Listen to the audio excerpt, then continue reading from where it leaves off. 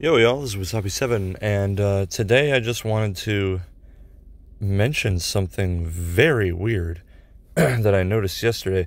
So, in this Sally Face episode 4, episode 4, which is a weird title, but it's an episodic series and it's the fourth episode of episode 4. Anyways, it's got 268 views. And when I checked it yesterday, it had 255 which means in one day it gained 14 views. And not to mention, the episode that comes directly before that has 11 views. And so I looked at it, and it's even got 12 likes and a dislike. So people are like watching this.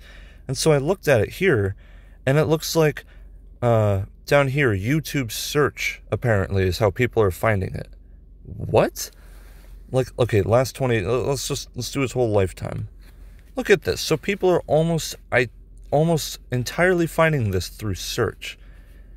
So what? Like two and a half hundred people just wanted to watch the last part of episode four of Sally Face for some reason, and then come in and watch an average of three and a half minutes of it, leave a like, and then leave. Like, this is bizarre. It almost seems like it's a glitch, but it's such it's so detailed that it almost doesn't seem like it's a glitch.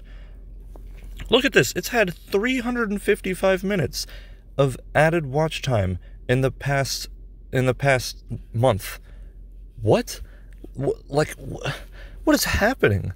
Anyways, I just thought this was really weird, so I just wanted to uh, mention its existence. I have I don't know why it's happening or why only with this video.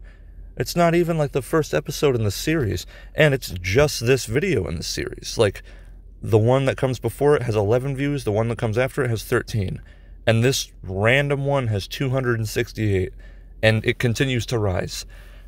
So, I mean, glad glad people are enjoying it. It's, but I'm dumbfounded.